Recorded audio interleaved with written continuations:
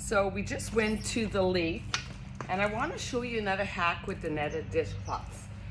These are awesome to remove all those bug marks of the front of your vehicle.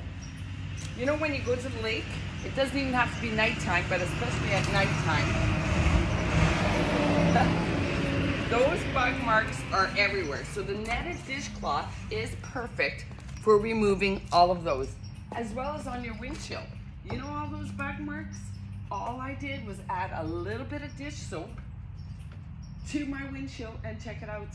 It